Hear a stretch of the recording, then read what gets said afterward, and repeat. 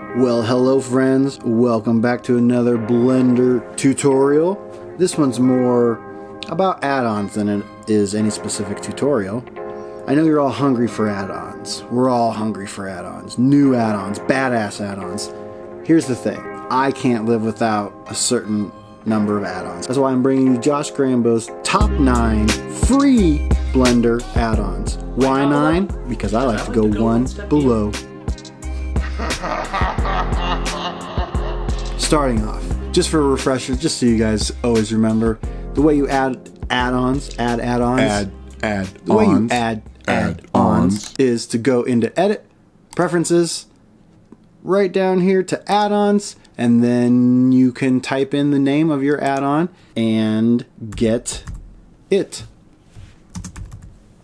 Some add-ons are natively already pre-installed in Blender and just need to be enabled. Some have to be downloaded. I will give you all the links down below. Trusted links, give you those trustworthy links. So let's begin. These nine are so banging that I can't do justice to all of them in one video. So because there's nine, I'm to split it into three three-part videos where we break down my top nine essential Blender add-ons.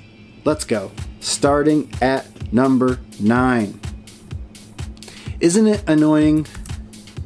You have yourself a plane, then you go ahead and you add yourself in a cube, and then you've got that cube, and then you click the transform icon and you zoom in, and you get in there, and you grab the Z and you bring it up, and then well, did I get all the way? So you kind of get down. Well, maybe I, maybe I didn't get all the way. Okay, there's a little bit exposed. I'll go just right there. Perfect. So now my cube is perfectly in place. What if you didn't have to deal with that nonsense ever again? What if there was an add-on that allowed you to take that cube and just drop it? What would someone call an add-on like that? They call it drop it. Link is in the description under number nine. You go to the description down below, click the trusted link that I verified myself, and it's going to take you to the Gumroad with the add-on Drop It. You'll know you found the right place if you see Snoop Dogg driving you on in. Go ahead, go down. You're going to see this little icon here for I want this with a number value. You got to type in something. It's free if you want it free. You can type zero. If you want to give the creator of this add-on a little tip, go ahead and throw him a couple bucks on there. And then click I want this going to redirect you. Type in your email address. Give them a bunk email address if you want to. I recommend at at Joe Biden Trump supporter hashtag and just click get. You're going to get an email link. Go ahead and download that add-on. Save the zip to your preferred folder. Do not unzip the zip. Save the zip. Add-ons have to be added on in zip folders. Don't unzip. A successful Blender add-on is like a successful first date. If you have any hopes of getting your software installed, keep it zipped until the end. Keep it zipped. Now that we have the add-on, we will go back into Edit, Preferences, go ahead and click Install. You're going to find where you installed that. Keep in mind that Blender saves. Find Drop It Zip, Install Add-on, it should auto pop up in the search menu. Go ahead and click the little square to enable the add-on. Mine's already enabled because it's my top nine add-ons. Sucker. Click install. And that's it. Now when you go out of it, you're to have your friend the cube above your better friend the plane. You're to right click on the cube all the way down below delete. You're to see the drop it option. You're to click drop it and what's to happen? Blam! Cube on plane look at that intersection. Whenever you see that goobly gobbledoo, that means your shit's intersecting. That's a tight drop. Drop it. Download it, install it, use it. It works. You can do it on multiple objects as well. So if you have a whole bunch of different things, you move them all ipsy doopsy all around, make sure they don't intersect. Select bing bang, right click, drop it. Number nine, links below in the number nine slot. Next add on. Okay, number eight add on. This one's an easy one. I really enjoy this one. It's uh, it's node arrange. There's several hotkeys that you can use to arrange nodes in the shader editor and the compositor, but I don't find them very good. I like know exactly where all of the nodes are going to be automatically arranged, and that's easy enough by an add-on that Blender has pre-installed, and all you have to do is go into preferences and enable it. That is Node Arrange. Go in, type node, you're going to see a couple different options. See node, node arrange, click enable, come on down, click save preferences. I always have auto save preferences enabled, and then, you know, I like to save preferences. So now let's say that we have our object. We throw, you know, the plane, and we throw a cube, and we have a material over here. We got this black job over here. We got this little red job over here. And then let's say that I want to put... I want to add a color ramp to control the roughness and then I want to add an image texture because I want to put an image and I'm going to have the puddles. And then I'm probably going to need a normal map. So I'll go ahead and put my normal map down here. And then I'm going to have to have a, you know, go down there. And then Nodes! It's easy. Click your little panel down here. Once you've put it in, it's got a, range. You got all sorts of different settings. I like the default because you get muscle memory. One click, blam, done. Look how beautiful it is. Boxy, square. It's 90s. Man, it's beautiful. It's beautiful. Node range. Install it, use it. Becomes muscle memory. You find them like that, node range. Number 8. Link not in the description, natively installed in Blender. Go at it. All right, number seven, and our final add on for this video is one of my personally most used and favorite kind of outside the box creative add ons. Have you ever seen when YouTube videos, podcasts, or anything have like a little a visualizer? It'll be the bars or circles, some sort of like indication of the waveform. Your stagnant audio videos a little bit more dynamic.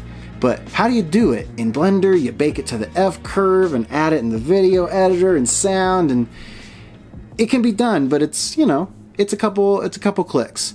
I find with this add-on, it makes creating visualizers unfathomably easy. What's a Blender visualizer called? Well, of course, it's called Bizualizer. Right here, over at GitHub, this is one of the add-ons you're gonna have to install. Down below, trusted links, click on it, it's gonna take you to the GitHub find the folder. Even if it says it's for 2.8, go ahead and download it. I'm on 2.91 and it still works. Once you get that downloaded, save it to the folder of your choice, go back into Blender, edit, preference, add-on, install, find that zip folder, install it. Once you have it installed, enable the Bizualizer. You'll see animation Bizualizer. Once you have that enabled, save preferences, exit. Then when you come over here to this uh, you know, the scene properties tab, little sphere, cone, and another sphere. You're going to go down, and then right down there, you're going to see Visualizer and Audio Path. Couldn't be easier. You go ahead and click this little folder icon, find your preferred audio file, come down, lots of different options to choose from. How many bars, spacing, 64 is a lot. Let's go down to 10. Use radial. That just means do you want it in a circle or a straight line? We're going to keep it normal. It says regenerate visualizer. Go ahead and click that. Skibbity boop pop. Hit play and you have yourself a visualizer. How about that? Then it works just like any other mesh that you would have in Blender. Select it. Add materials. Of course. Modifiers. Probably. Solidify modifiers are great. Play around with it. Color. You can move them around. Put this one here. Put that one here. You can make something like this that I made for my friend, Baty Beats.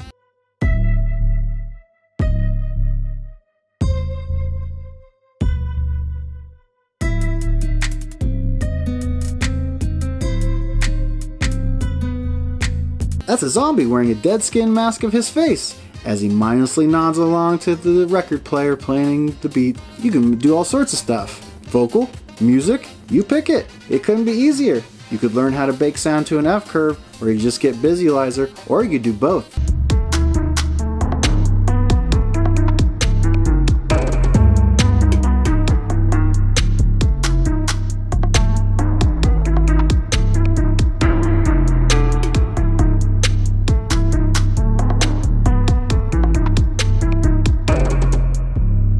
Pick whichever one's easier and go with that. Work smart, not hard, dummy. Right? Alright guys, that's it. That's number 7, 8, and 9 on my Essential Blender add-ons list. We had Drop It, download Drop It, install it, and then drop it. Next one, Node Arrange, muscle memory. You know exactly where your nodes are. Bing, bang, boom, click, you're in. Final one for this evening is Bizualizer automatic visualizer. Couldn't be easier. Circles, bars, one with. It's amazing. Download those guys tomorrow. We're going to post up the next video. Number six, five, and four. What will they be? I know what they are, but I can't tell you. Why? Because that's not how foreshadowing works. Or is it? Maybe in the next episode, I might learn. Until then, my name's Josh Grambo. If you like this video, if you learned anything, do me a favor. I'm not going to ask you for money. I'm going to ask you to go laugh. I'm a stand-up comedian in Denver, Colorado. Go watch my stand-up. Go watch one of my comedy videos. Go watch one of my effed up short films. Maybe give a sub. Maybe give a like. Maybe go over to Patreon slash Josh Grambo and sub over there too. I'm not asking for money, but I'm saying, you know, throw me a like, throw me a bone. Hey, oh, a bone? What kind of asshole is this?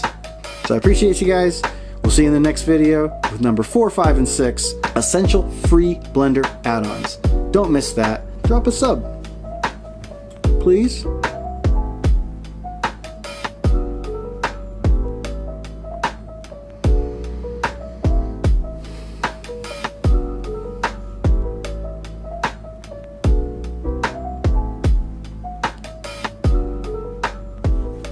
Bye, guys. Yeah, I got a six month year old little daughter. So she was born this year, which means that if you do the math, that means that she's going to graduate in the year 2037. Yes, 2037. My girlfriend's like, should we start a college fund? I was like, we should start hoarding water. it's cute. You think this shit's just going to work out. Oh.